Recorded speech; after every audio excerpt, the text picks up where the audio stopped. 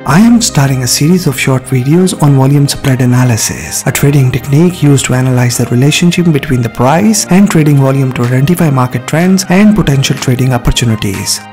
My goal is to make this technique easy to understand so that you can make a lot of money from trading. Let's start with the down thrust bar. This is a small candlestick that forms in a downtrending market with ultra high trading volume. According to the volume spread analysis, a small candlestick should have low trading volume. If the volume is high, there is a divergence between the price and volume, which indicates that the downtrend is likely to change its direction.